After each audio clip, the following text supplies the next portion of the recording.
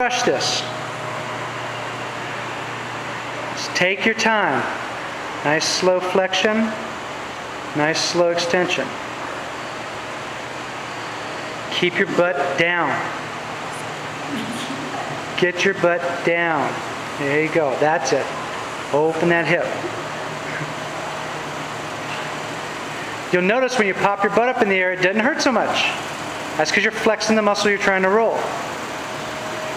Keep your butt down.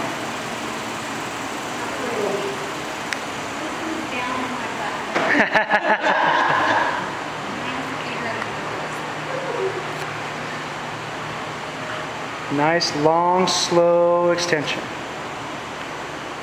Now you'll notice on the inside or the outside of the center of your thigh, close to the hip, it's tighter on one side or the other, the inside or outside. Stay on that ridge, inside or outside.